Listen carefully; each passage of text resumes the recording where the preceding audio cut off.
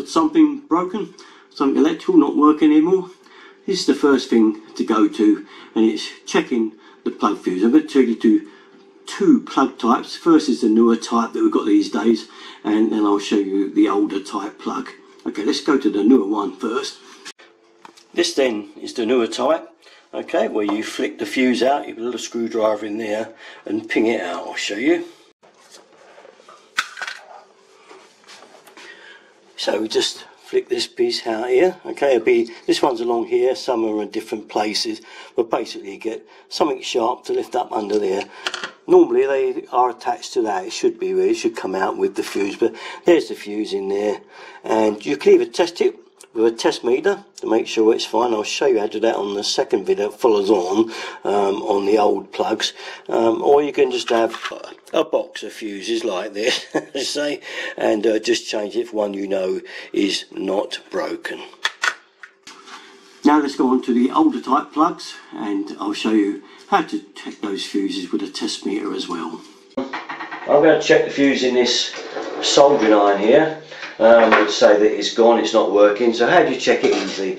Well, it's fairly simple really. Uh, if I show you the plug up close, um, there you go, you can see um, there's our fuse sitting there and this particular one's got a 3 amp fuse according to the drawing on there.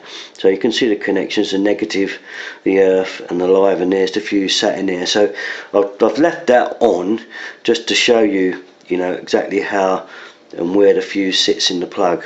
Okay so we're going to take that off like so. And we're going to undo the front of the fuse. There's two cord grip screws there left and right and the main screw to undo the front of the plug. So we're going to undo the front of the plug with our main screwdriver. Okay take that out. Through stuff like that. You should be able to pull the top straight off. Now if you look there now you'll see the 3 amp fuse. This is rated at 3 amp because it's very low power. It's a soldering iron.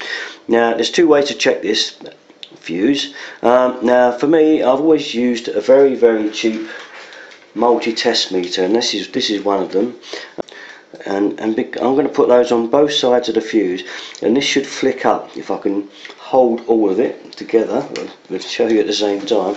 Let's put it on, on the table there. With one tip of the probe on that end of the fuse and the other on that side we should get a reading and there we are we have a reading Okay, the other easy way of checking a fuse, if you haven't got one of these here test meters, um, is just to take the fuse out of the appliance and just try it in something else and see if it works.